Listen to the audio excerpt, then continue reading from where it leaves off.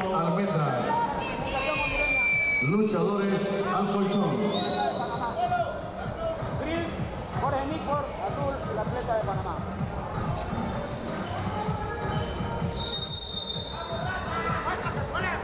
¡Vamos, Chiqui! ¡Vamos, Chiqui!